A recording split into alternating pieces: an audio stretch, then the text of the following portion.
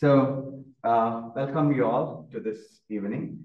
Uh, so, myself, Giri, I work as a lead scientist at Sygnature Discovery, a bit different from what you guys are doing. Uh, we work on uh, designing new drug molecules, basically medicines for certain human diseases.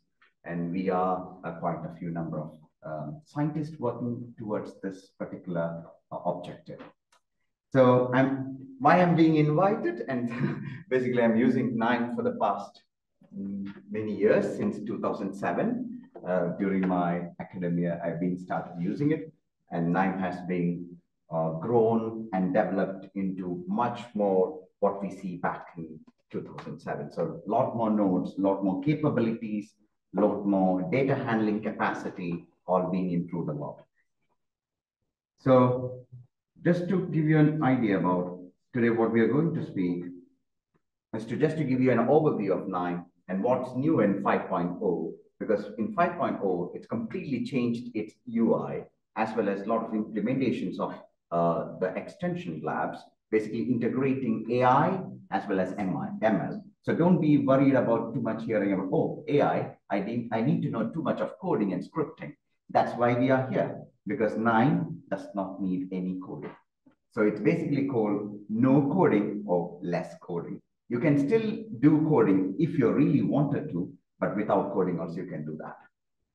And a few KNIME extensions which might be interesting to you, which we will be doing after my presentation. We will be doing a hands-on session about a chatbot we'll be uh, creating ourselves and a quick demo on a use case and Q&A just to quickly give you about what we do as in Sygnature. So it's a CRO company. It's being founded in 2004. Uh, our head office is at Nottingham site, and we have multiple sites at Canada, US, as well as in UK. And the best part is that we have more than uh, 40 preclinical compounds and 22 clinical compounds. That's where we are trying to do research to find out solutions for different diseases and all whatever we are trying to repair your mechanisms that we are trying to do.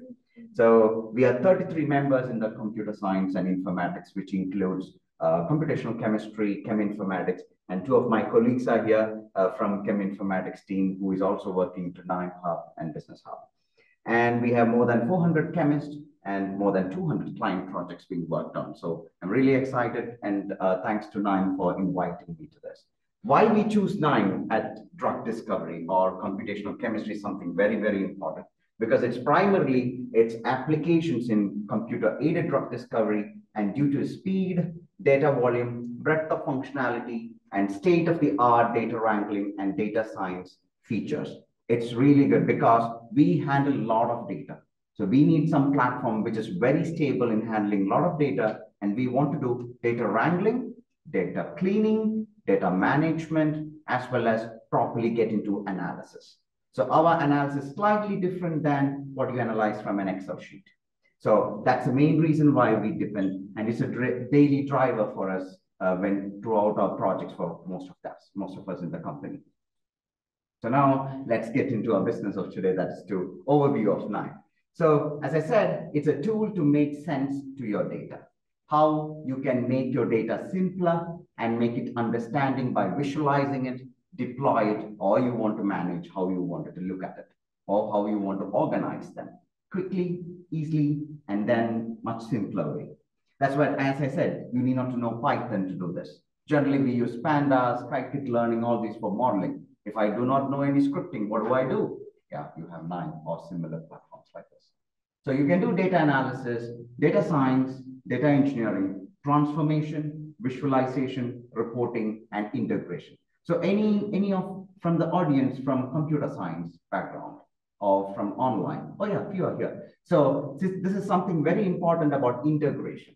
If you want to pull data from your cloud, let it be Azure or SharePoint or wherever you want, and then you wanted to do analysis or you might want to change how it looks like, some aggregation, pivoting, or something to be done, or group by, and then you have to upload back to maybe push to your SQL table or SQL DB, or pull it from there and push it back to Power BI in order to visualize them, right? So if you're doing it manually, you have to do it from one software to download it, export it. Or if you're doing it by Python, you need to have all APIs to built in together. But here, it's just a drag and drop. You have specific nodes for that to take care of it. Of course, you have you should have respective licenses for respective databases and your cloud management system. So it's open source again. It can be used by anybody.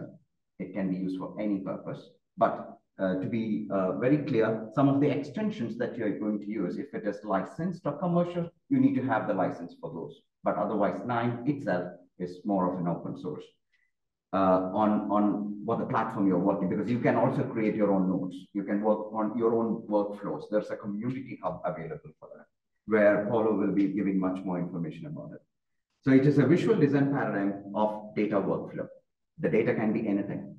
It can be, I don't know whether we still started with working with images, but we work with chemical structures, numerical data, classified data, or any alphanumerical data. It could be anything. And finally, no coding is required.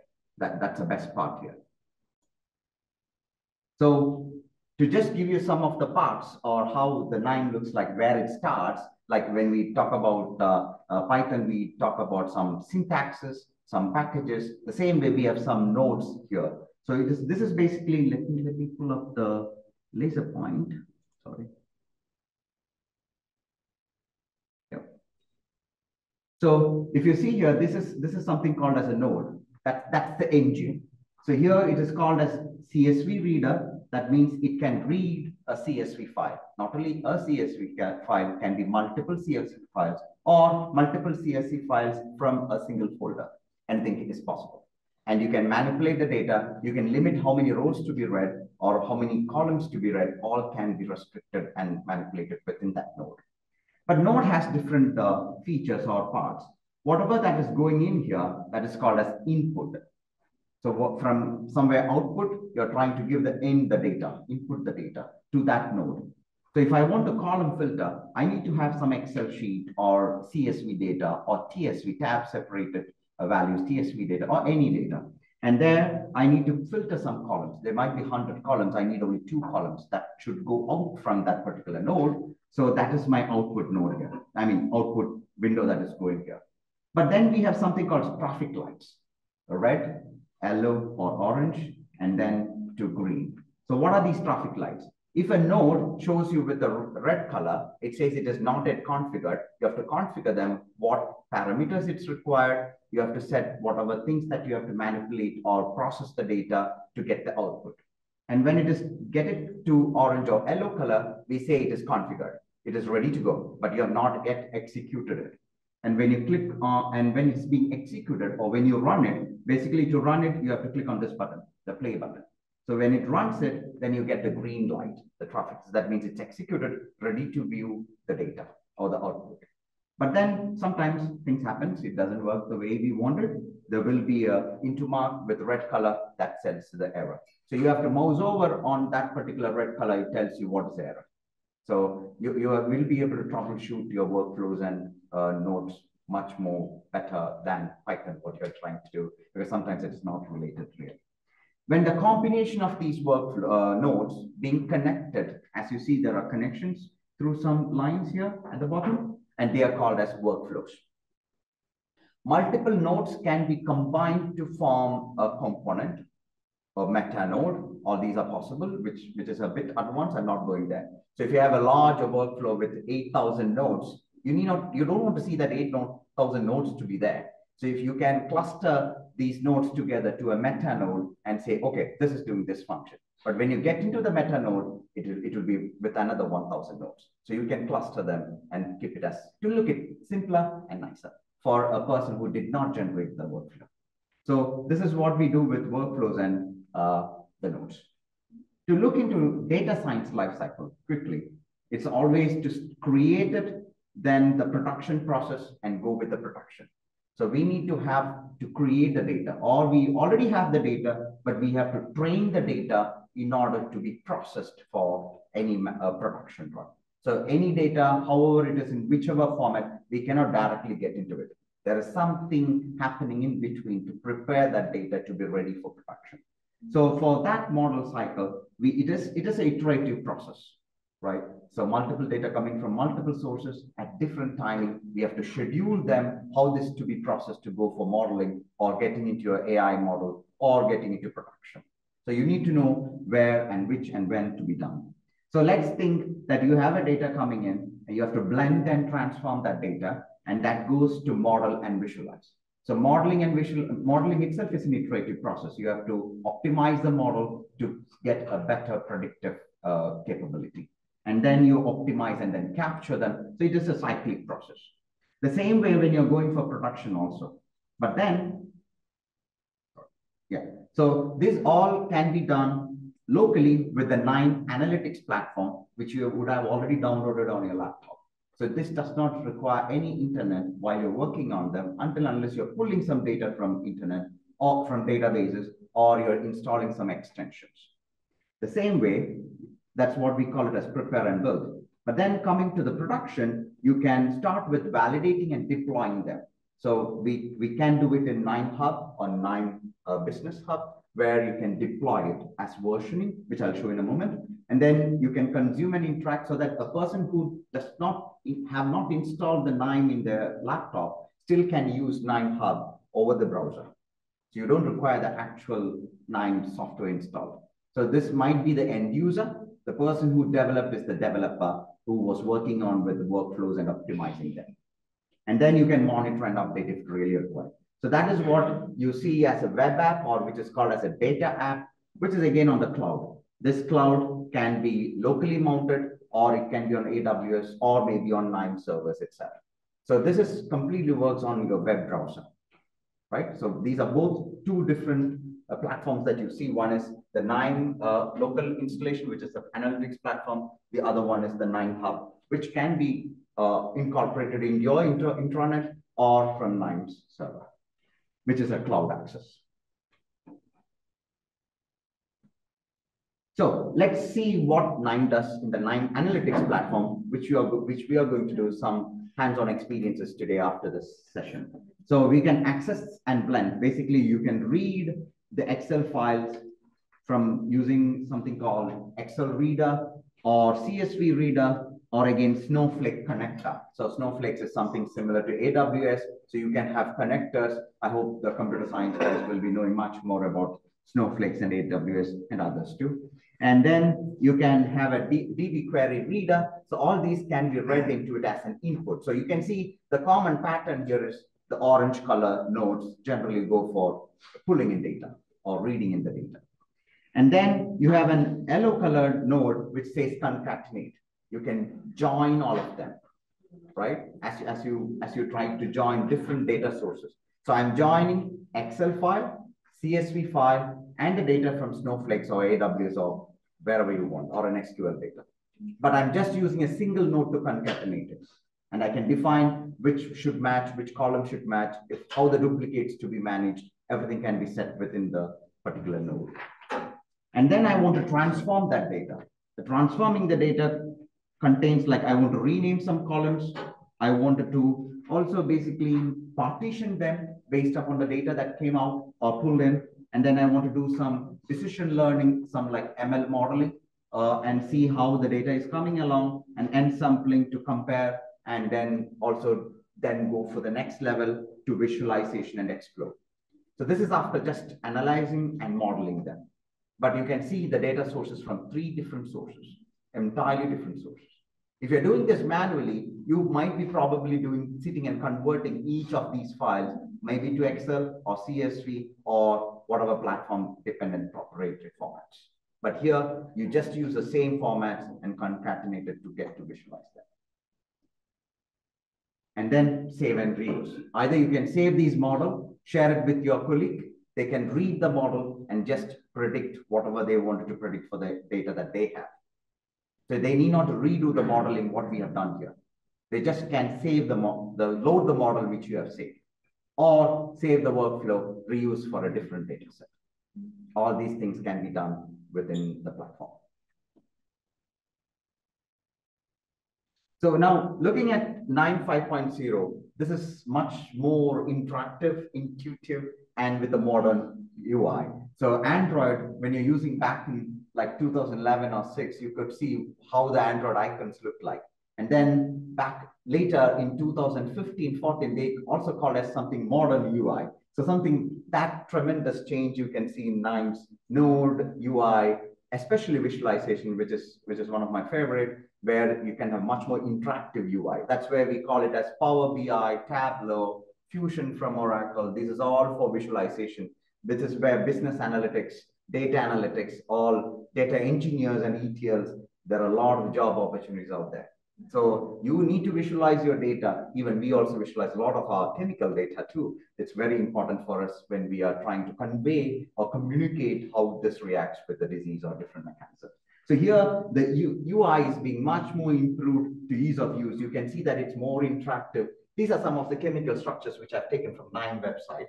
Uh, so it's it's whatever the data I'm showing, it's all from the KNIME uh, presentations or from the website. So you can it's it's publicly available.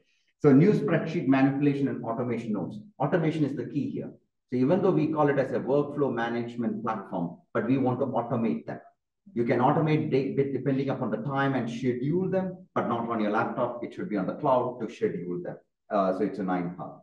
But otherwise, you can time dependent. You can say intervals at what interval it has to run. All those things can be configured properly here.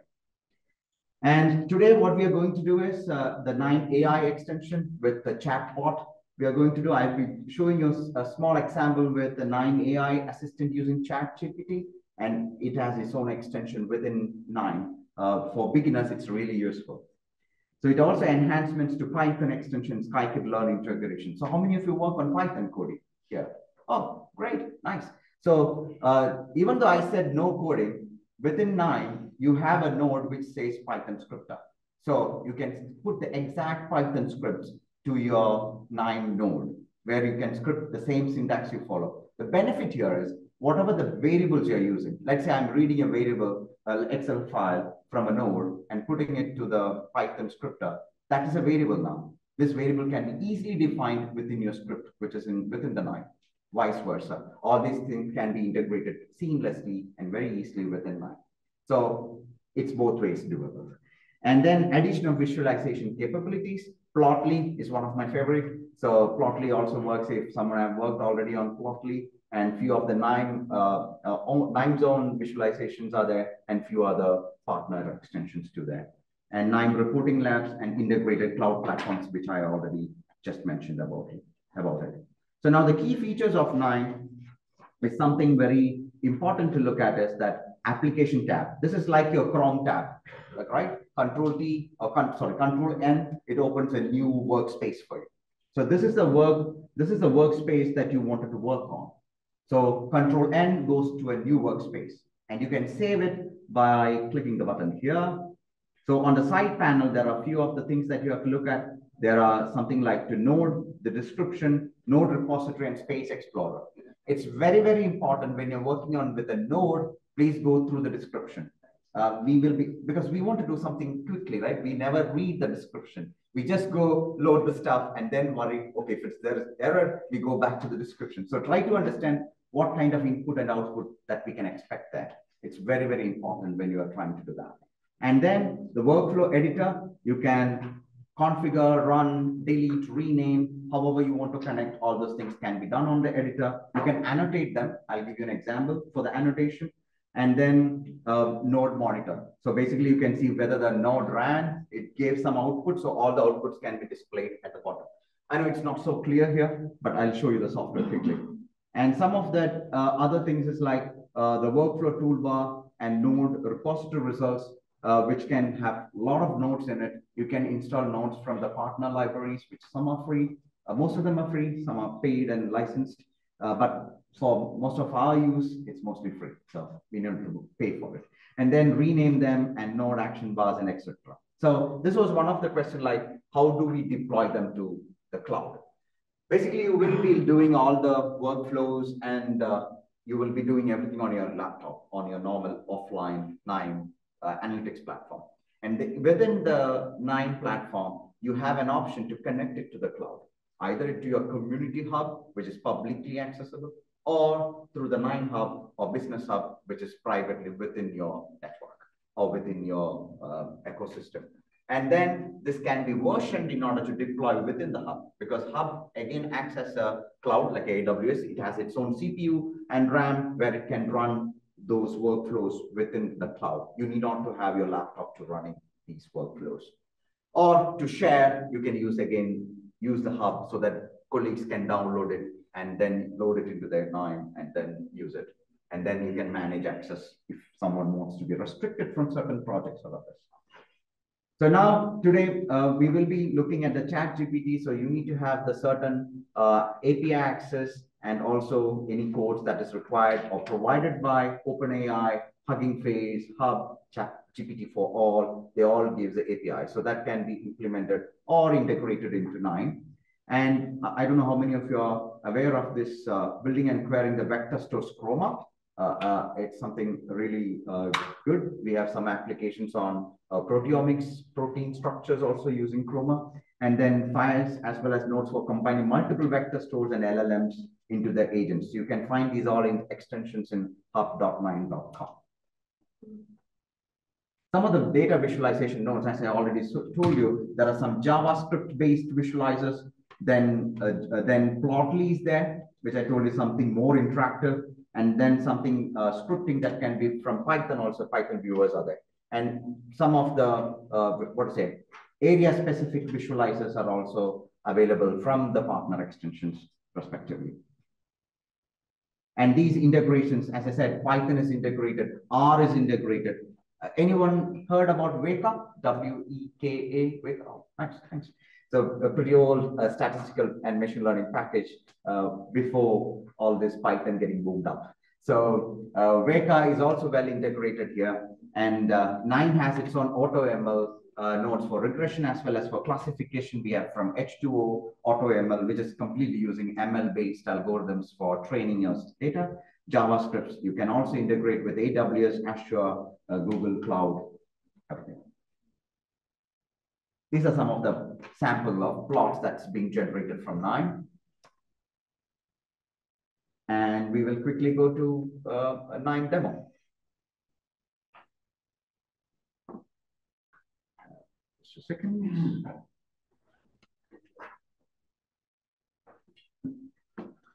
So I have another 12 minutes to go. So uh, hopefully I can finish it soon.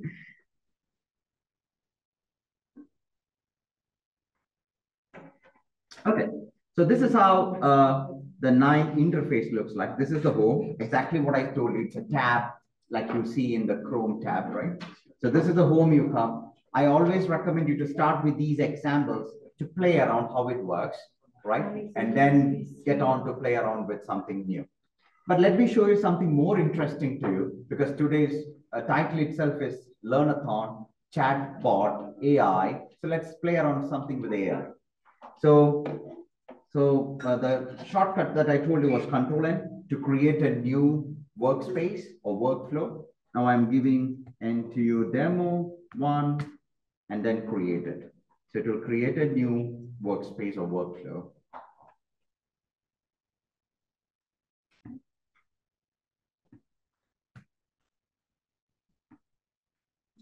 I don't know why. Since I'm sharing the screen, it's not allowing me to do. Okay, let me try it.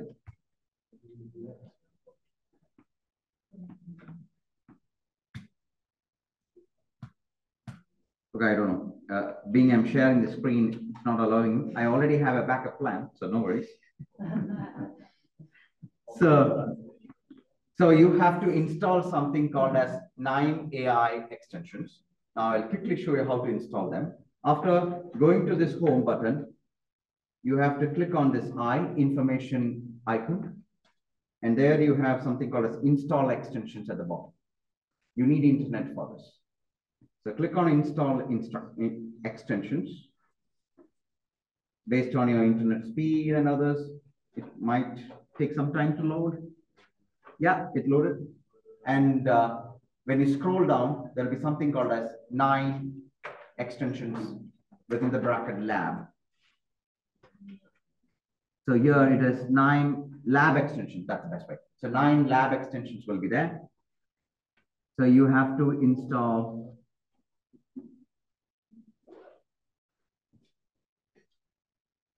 sorry.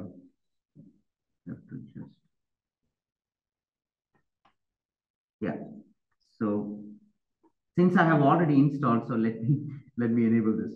So for you, it will show up. Since I've already installed it, it won't be showing it, but I'm, I've disabled this hide items that are already installed, so it should show up now. For me. Yes.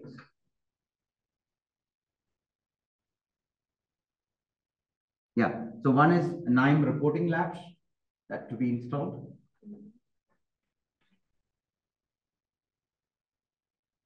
And the other one is KNIME AI assistant labs, right? These two to be installed for the demo that I'm going to show you quickly. So once you click on them, for example, like this, you have to click and then you have to click on next, some agreements, agree, do not agree, mostly you have to agree, and then continue and finish it off so it will install.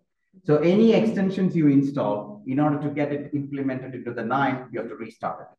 So it will ask for restart, just restart it, it quickly comes out. And then you can close this. So we are back to KNIME. I have already installed that, so I'm not restarting it. If you are installing it, please restart it. So now I have an interface I'm trying to uh, create on this one. Yeah. So uh, when you restart, you will see something like this, the chat icons like this on your left-hand side bar. And there's a disclaimer, please close that and make sure you log in. You have to create an account in order to use this, right? So I, I cannot, I have already logged in, so it should be okay for me, but make sure uh, in your case, you have to create an account and log in. But anyway, that's a different process. So I'm, I'm not going to try that now if it is taking too much time. What I'm going to show you is I have already created something. Here in the AI assistant, I asked to generate, please generate a workflow, right? Workflow to read an Excel file and filter the row to be displayed in a box chart. I mean, yeah, that's what, bar chart, not box, bar chart. That's all I wrote it as, like you write it in ChatGPT, right? And they created this particular workflow right? So you need to log in and you need to have that extensions to be installed. So just for beginners, it's really good. But for an advanced user, no, I won't be directly going to this because I don't want the internet to understand what I'm looking for. That's main reason. So this does that. But before doing that, in order to build the workflow, on the top you can see Q&A and build. Make sure you click on this build. Otherwise, it will not build the uh, workflow because if it is on Q&A, it will just tell you what are the nodes that can be used. So it will suggest the nodes and you have to do build the workflow by yourself. So if you're by just giving the typing there, if you're if you're still on Q&A, it won't generate the workflow. It will just suggest the nodes. So make sure you click on the build mode. It will automatically write the workflow for you. Okay. So for just for starting, it will be really helpful for you. Right. Now, how do we all chat GPT is really uh, interesting, makes us a bit lazy, but let's try to do something more sensible. Now, I created a new workspace now. I'm not going to use AI Learner here. I'm going to do it manually. Now, this is where the repository. So here, what you see is the node description. This is the repository. This is where you will see the local space where you can see all the workflows you have saved and loaded, even from your KNIME Hub or Community Hub. And this is the AI assistant. So let me go with this repository. Now you can search the nodes. I, I don't say all keywords will be there, but most of them are there. Let me see if I want to find a duplicate. Oh yeah, it's there. Duplicate row, if I want to find a duplicate rows. I want to read a CSV file, CSV. I have both reader and writer. So I'm just uh, clicking on them and dragging it to my workspace, and that's there. Mm-hmm. Now, there are two ways to have other nodes added or continue to this node. One is you can click on this output arrow, drag it, and you can see there's a plus symbol there. Like there is a plus symbol. I know it's a bit light on the screen, but yeah, it's there. If you click on that plus or mouse over on the plus, and you can search over there, I wanted to column filter, and I can do it there itself right? It's there, column filter. I just click on them, it's there. The other way to do is, I want to write it as an Excel file. I, I read it as a CSV file. I want to write it as an Excel file. I just dragged and dropped it here. Now I need to connect it. So I can drag uh, my use my cursor there and then uh, click on it and drag it to connect it. Right? Multiple outputs cannot be connected to a single input node. But multiple outputs can go to multiple nodes.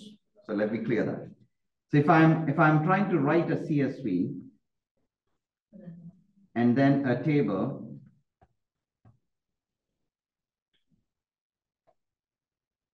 So I can have this all to, so the output can be dragged to multiple nodes for multiple tasks that you want to perform, right, at a single click. But then if I want to have, uh, for example, I want to have table cropper, table creator. I want all this to go to this particular input. Yeah, it will accept only one. So one input will accept only one input, but I can add more if I really wanted to. So if I click plus that, I, I can add more. So some of the nodes accepted, I can go on, keep on adding multiple inputs. Some nodes doesn't. So it depends upon the nature of the node that you're handling. Or you need to have multiple nodes to handle the multiple outputs. So keep that in mind. And there are something called as flow variables uh, which is a bit more advanced. I want to, uh, I'm not going to cover that today, but it will be useful mainly for Python scripters. And if you want to have multiple tables that to be used as a data for the next uh, uh node, this is where the uh, flow variable. So you can take the variable from this node and feed into some other node. It's not actually the output file. It is just taking the variable from your node and putting it to the next node. It's sharing the variables, right? if you're customizing the variables or something like that. Any questions so far before I continue or before I run this? Finding it difficult? Okay, nobody said yes, so that means it is easy. That's good. when, when is the first time you found KNIME? Like, as a curiosity, right? Like, it was several years ago that you met KNIME. Yeah. Like the first time. Can, can you recall or? 2007. So 2007, that's where that time we don't have this RDKit and all. That time it was CDK. Uh-huh. Uh, that was mainly one, and mostly others where they we didn't have Excel read at that time. It's mostly CSV. Okay. So mostly data manipulation, but there was a reason because one of uh, the software that I was handling, I don't want to say the name here. So that was having KNIME nodes. Okay. So that was one of the reasons that software actually introduced okay. me to KNIME. There was an integration. It was an integration. All right, just uh, really important information about the event and AI and KNIME. I ordered the pizza, so it's on its way.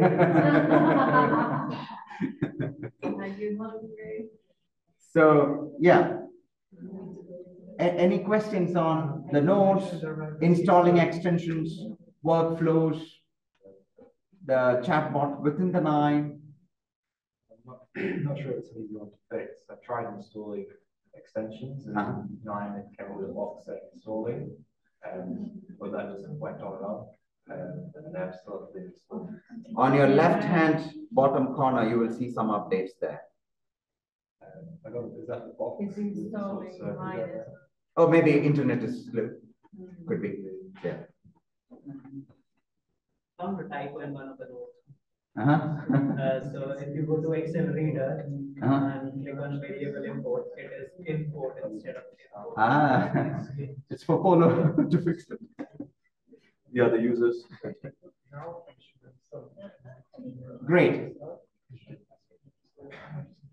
So one, one more uh, tip is that it will be so tempting to install all the extensions out there. Please do not do that it will take up a lot of your hard disk space. So try to start with small. And, and as, soon, as soon as you expand your uh, ecosystem that you want to do more things, slowly install each of these extensions. Otherwise, it will eat up a lot of your hard space.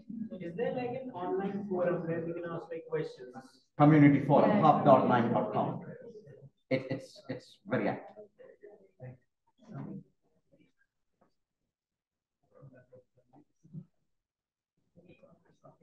All right? Okay, let's run the first flow.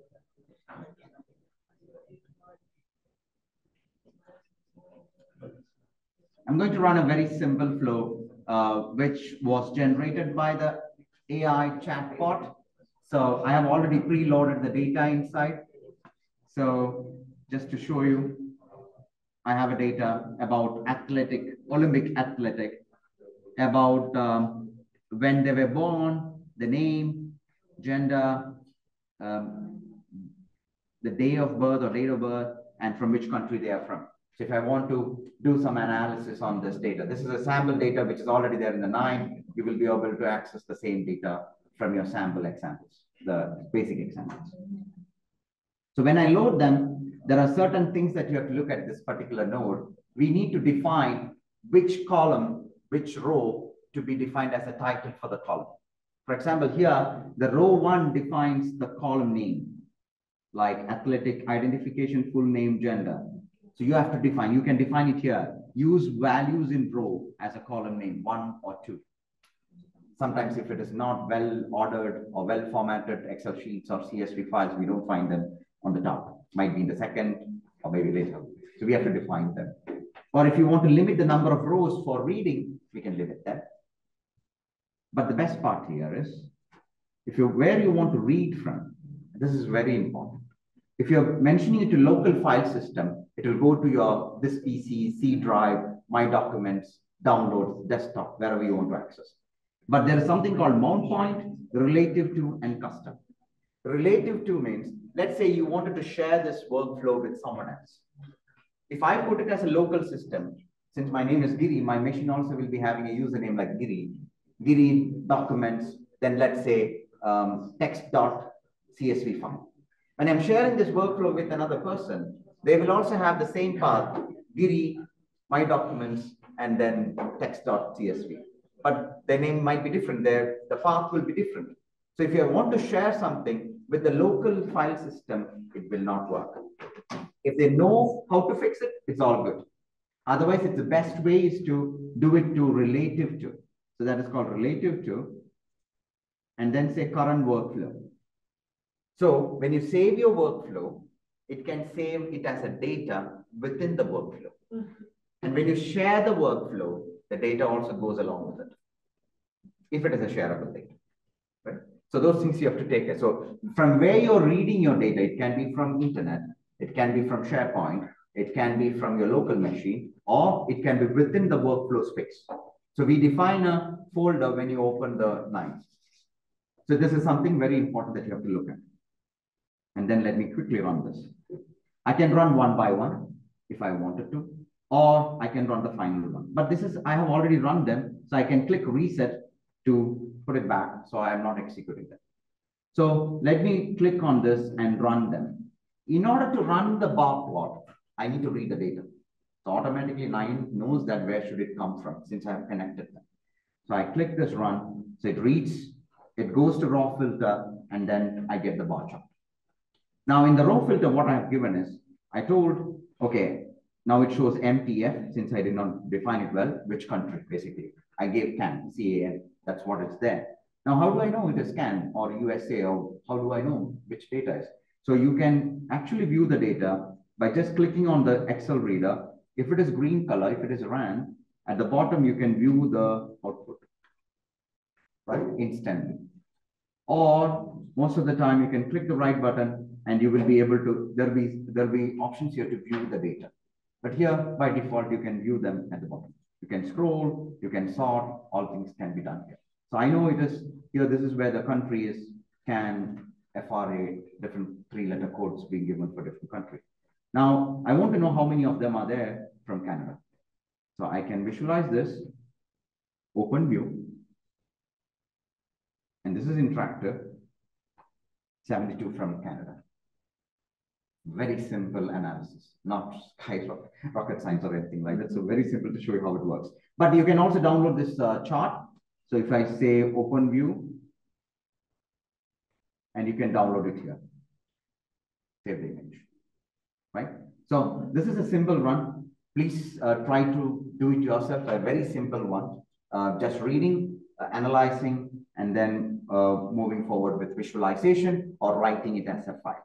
So that's all from me for today, but I'll be around here to help you around. So before I end up, I would like to thank my colleagues, Colin Lewis, Bodan, Milosh, and Aparna, and my friends at uh, Sygnature being very supportive because KNIME doesn't work with a single person because it's a collaborative project for multiple things, multiple expertise required sometimes, but not always on a higher level uh, stuff. And the team at uh, KNIME uh, and uh, Dr. Daphne at NTU and Paul and Rosaria at KNIME for their invitation. Thank you so much for your patience. And if you have any questions, I'm happy to answer. All right. So thank you for being here. So a bit about me before we start, so you you know who you're the presenter as well. So I'm uh, Paolo Tamagnini. I'm a senior data scientist at KNIME. Uh, I work in Berlin. This morning I woke up in Berlin and somehow I'm here today. It was really cool. Um, and yeah, so I'm a data scientist and I'm in the evangelism team. Um, it's this uh, team that is uh, creating all this content uh, and courses and uh, online books and all this uh, information that you can find about KNIME to learn it and also to uh, meet the community, right? What we're doing today, there is some people that already know KNIME and want to meet. So is the evangelism team, webinars, and so on. And today um, I'm here to, to conduct this new format of event, which is called the KNIME AI Learnathon. It's the second time we're running this. Last week we ran this already in Hamburg and people were quite happy. Maybe we can collect feedback about this later. And um, what is the this uh, AI learnathon? It's basically nodes again. KNIME often is about nodes, right? Nodes that let you uh, query those large language models that you can call for short AI, right? That you can call, and some of those models you can call there locally. Some of them are the popular ones, like uh, OpenAI. A few weekends back, everyone was hearing about what was going on with OpenAI and these GPT models and the CEO, right? Like the results of drama lately, right? But this is a big topic, right? So these nodes, you can combine them in workflow and build your own chatbot on your own knowledge base. And for example, uh, then you can upload it on the cloud, deploy, and then someone can use your workflow in this shape. You see, it's, it's a UI, and you can maybe upload a document, and then you can make a really hard question to your AI, like uh, what happened here exactly, and this really precise there. The AI reads your document and answer your question, right? So this is really handy. It's a new way to work with these large language models. And today we're gonna get a taste of it. Of course, we're not gonna train today a large language models because these models are really big, billions of parameters, takes a really long time, lots of money, computational resources. Today we're gonna learn something different. All right, so let's get started. So LLMs are really smart, but they do not know everything. That's the point, right? So I was using here GPT, GPT 3.5, so it's already a bit updated.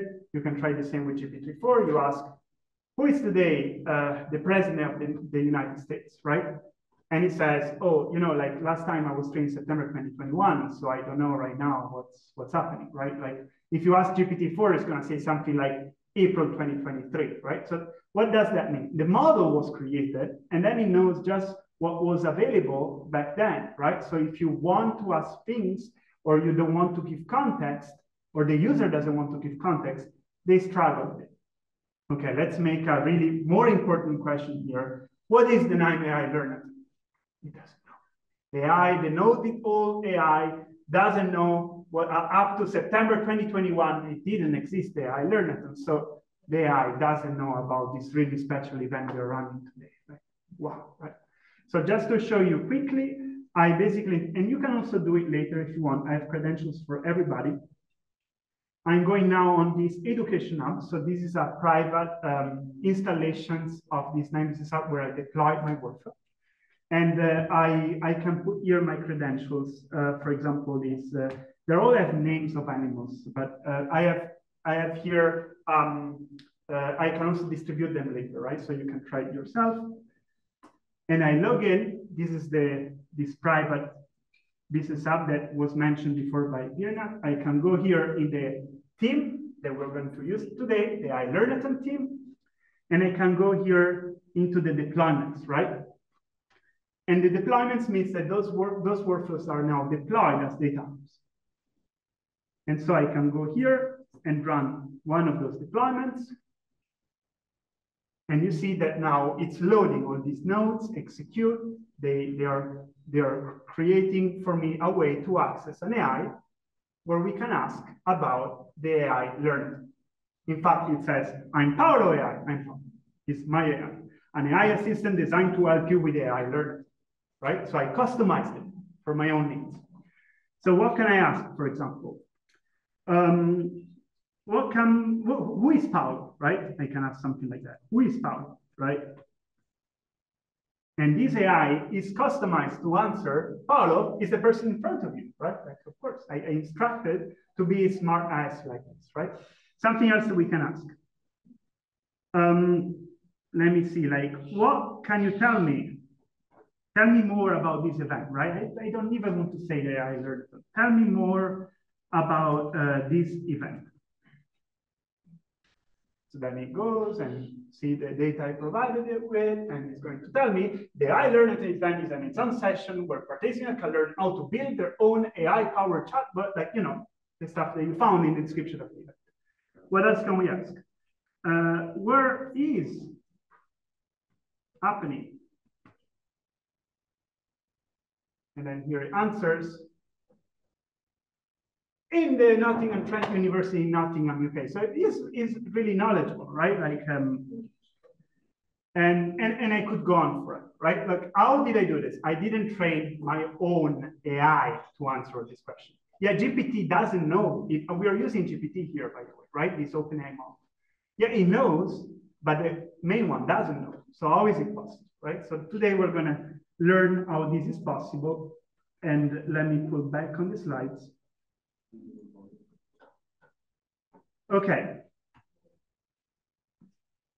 So there are four ways to customize a large language models that doesn't require not even fine tuning it, not even partially retraining this really large neural network. This is prompt engineering, hyperparameter tuning, retrieval augmented generation, and conversational retrieval agents. All of this is coming with this blog post. All the links are available um, are available at the link I gave you. So you can then maybe in the coming weeks read a bit more at your own pace. But let's go quickly on what it is, this stuff. Prompt engineering. You see here a string manipulation node because KNIME is always about nodes. What are we doing here? We're taking um, the input, giving some context to the AI. This is your role, right? And then we say, okay, so uh, please answer in the following way. And then we paste the question of the user, right? And then we say, answer the question using this text, right?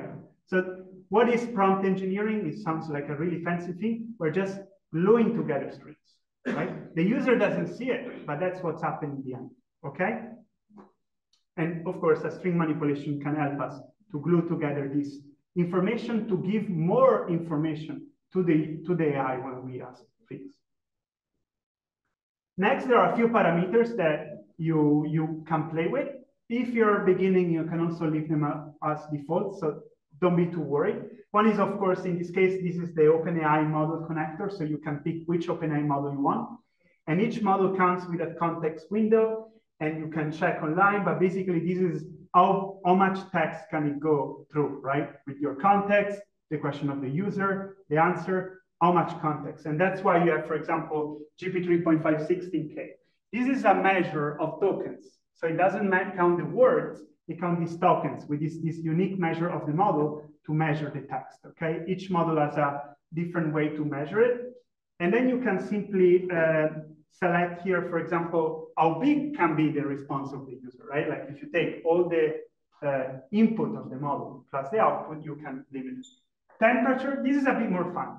How, how much the model can take risk to answer your question, right? You want it to be boring, so you lower the temperature. You want it to take more risk and be more creative and come up with something crazy, you can raise this temperature, right? And so you can play a bit with those parameters. And here it comes, the, the, the, the really interesting part, right? Retrieval augmented generation. We have some text data, this text data as the answer that the model seeks, and we can provide it to the model to answer, all right? So let's go a bit more in detail in this diagram here, what we need.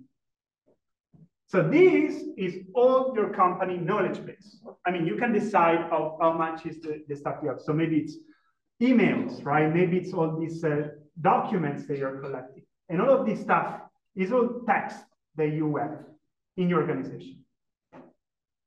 Then you take all this text and you can transform it in a format that the model understands, okay? And this is called an embedding. It's a semantic representation of this text. And you can put it in a vector store. Okay, so those are just numbers. It's a bit scary and so on. But what it actually is, it's a space, you know, like, you know, the space you have in a graph, which are semantic. So cat a kitten would go in the closed space of this multidimensional space, right? And and dog too, but dog would be closer to, I don't know, breed of dog, for example. And we can represent all this data using this vector store. And then here it is, the description of the event of today. I can also transform that description of the event in this numerical format, right? That's now what I did there, right? And then you can simply see the, you see the, the user is asking, what is the I learned, right? And also the question of the user can be transformed in a number, right? And so when we are going to answer, the, the model can really fast by looking at this number representation of the question of the document to find really fast the document where it needs to read to answer the question, right? So even if you have many, many documents in this vector store, you can quickly get the document that it needs to be able to answer the question and also to be smart about it, right? So this is the something that we're going to learn today. And it's actually the key to lots of this uh, customization of data. And then it comes the other part. So conversational retrieval agents. So this is about the ability of the large language model to chat and to also automatically take questions by your own design. So this is a bit interesting. So you see here a diagram that shows how the AI is uh, deciding what to do before replying to the user, right? So that means that it's not a single call of the model. So, you know, you just have an input and you receive an output. There is an, a system can be engineered to kind of have the model ask itself what to do before answering you, right? So for example, it could be, okay, let's take the question of the user and then ask the AI first to remove anything that is not relevant to the real question. Please AI, right, do this. Don't answer yet. Do this first step, right?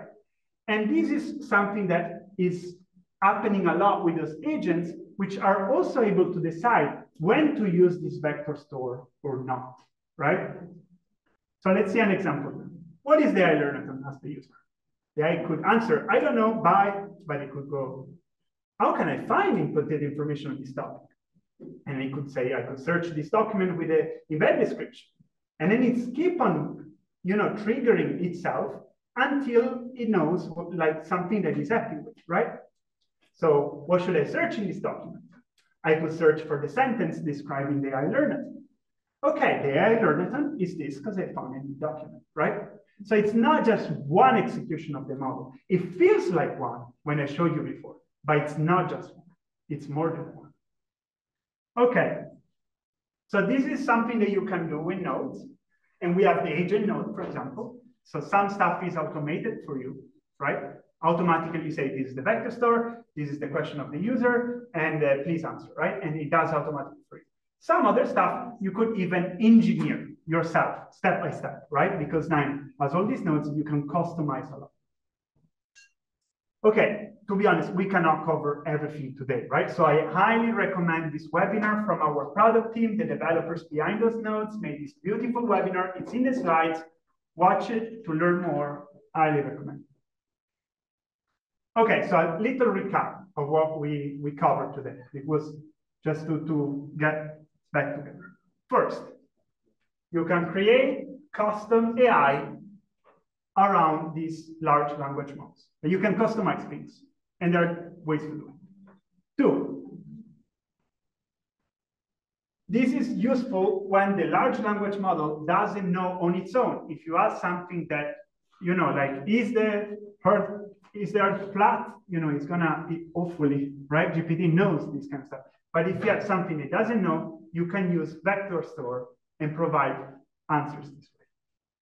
Three, you can do all of this without coding using nodes. That's the, the fun part. And four, something I didn't cover yet. Oh, yeah, four, you can customize a lot this process about, you know, having the AI think on its own and find the thing. But really interesting, the core framework we're working on is not for one AI only, right? GPT-4, for example, or OpenAI in general. There are other large language models that are being created out there. We don't know what the future is. Everything is happening really fast right now, right? So for example, I highly recommend these GPT4All models. What are those? Open source models. You can download them, use them, and then it's all local. And yes, right now they are not as good as performance as GPT-4, but we're building a framework that you can use the model you want, or maybe even more than one model, right? Using all these models that are being shared out some of which are open source, some of which you need to send the data through an API. Okay. All right, so possible use cases on why this is could be useful. Legal experts chatbot, right? You have all these court cases, maybe those are even public, and you make really smart question about what to do about this court case, right? The AI reads inside all these documents and says, well, actually, these already happened before, right? And this could be used, of course, some testing, but we are heading towards that direction. Okay, this is maybe less exciting, but we are going to maybe sometimes your internet doesn't work at home. You need to connect to your provider and tell what's up, and you need to wait for the human to answer you. You have your phone that is right. So all of this is already done, and it will be improved a lot by this uh, easy way to customize AIs, right? So custom uh, care, customer care custom chatbot, right? To answer about any company problem with your customers. Okay, this is a bit scary, but maybe a doctor wants to, you know, have uh, AI to reason with to understand what is the right diagnosis, diagnosis for a patient, right? So there are all these patient records that are overwhelming for the doctor to read all. And you, you can maybe have a chatbot that is expert in healthcare data and patient data. And then one that is uh, interesting because it's also uh, uh, what we're going to do today. So a chatbot that is expert on a machine, a machine with all its complexity, its components, right? All the, how it works, how you maintain it, how you deassemble it, how you put it back together, right? We're going to use an AI that is expert on one machine, right? That this can be useful. So this is what we're going to do today. And the machine is a coffee machine. so nothing to comment, right? So I downloaded this public coffee machine uh, manual book, which has lots of text because it's like, to be honest, it's not every Italian has one of those. It would be really complex to have, right? But outside of Italy, it's hard to find the best espresso. So people buy those a lot, right? And, and there are so many buttons and customization of this coffee machine, right? So today we're going to see how you can use an AI that you can ask question about this coffee machine. It reads in this really big manual book and then answer. So for example, you can ask, what is the milk jug control question? The pizza, yeah, thank you. And then the AI answer by reading exactly what it says here, right? So 60, 65 degrees, and it gets it uh, somewhere here you see 60, 65 degrees. It, it finds the information from this map.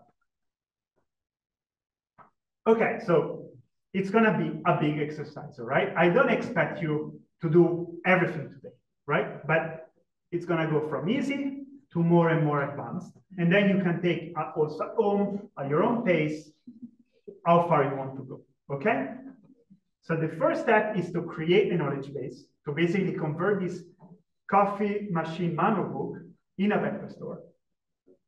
B is to use a large language models for a simple, you know, answering a list of questions. There is no user interface, there is no user on the web.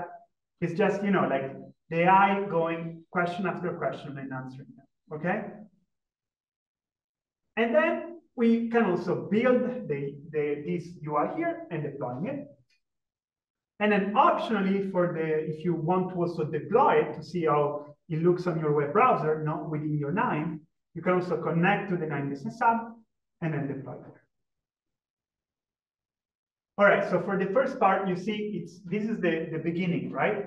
It's fundament, it's pretty easy. You need to uh, put your credentials here, and I'm going to share credentials with you, so you don't need to set up any OpenAI account. Then you need to connect to OpenAI, select the embeddings model that creates these vectors, and then load the PDF divided by sentences, and for each sentence, create a vector. So it's one, two, three, four, five, six nodes. Then you write to disk your vector store, right? So this is going to be the vector store that you're going to use later. For number B, you load back your vector store via model reader node, and then you can use the vector store retriever node to say, find me the sentence that answered the question about the coffee machine. And then you're going to combine it together with the question of the user and then ask the AI. This, this is the question of the user. This is the, the sentence that we found that has possibly the answer, right? And then you can write in an Excel file the answers. By the way, I stored the question I also store the answer, so you can see whether the AI is actually right about what it's saying or not, okay? Unless you're coffee machine expert. All right, and then finally, there is the build chat data. So this is about using this agent node that does a bit more than just one shot calling, right? It's basically using the vector store when it, it decides to use it. And this is about creating a component, and inside a component, you can add this agent node. This becomes more advanced. And this is how it looks like, like the one I showed you before, like who are you? I'm a chatbot. By the way, you can also play with the solution today. Huh? You don't need to build everything. You can also just open a solution and play with it. And finally, we have the deployment that you connect your analytics platform to this uh, business hub I was using, and then you can deploy. And then you can run it, and, and it looks like this in your web browser, right?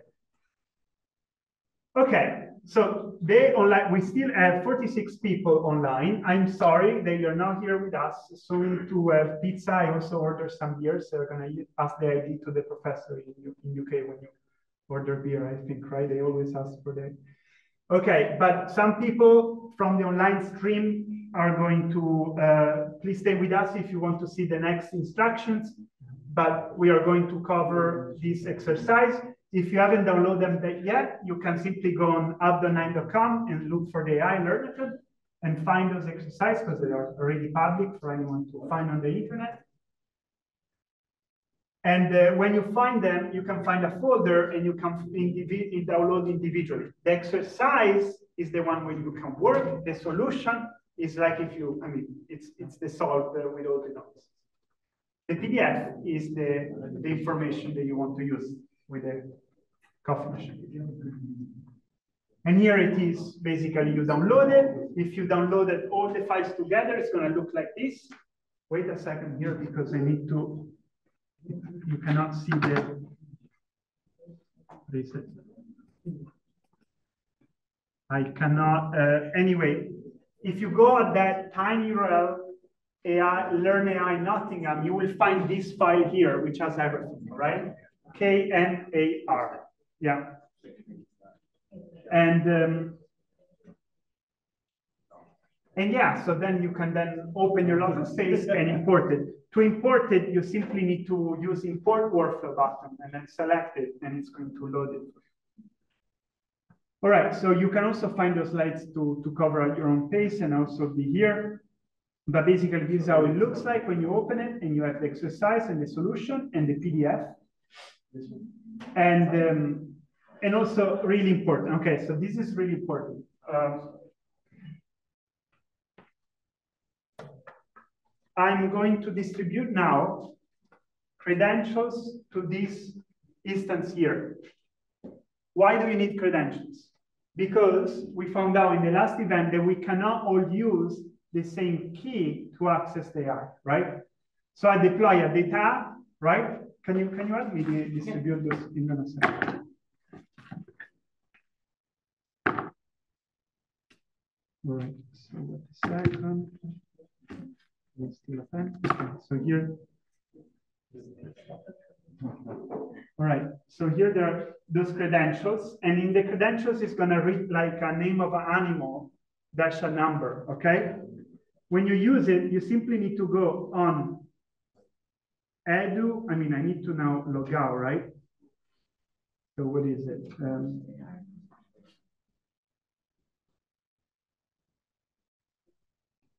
So when you log in, it's gonna look like this. You go to edu-hub.knime.com. I can give this to you. And, and when you log in, the password is always hub, H-U-B, all right? And why do we do this? Because when you access, then you can, I can, I'll show you how to find the, the credentials. So for example, I'll do canid one, please don't use my password now that you know it. And when we go here, once we go here, you need to go in your team, right? You need to select, you- see up here, you need to select your team, okay? Really important, select your team. Did it work? HUB, yeah?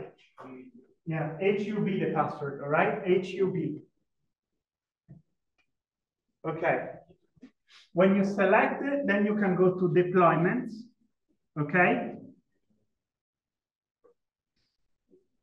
And then here you can run the uh, this app. I will now close for the for the online ones.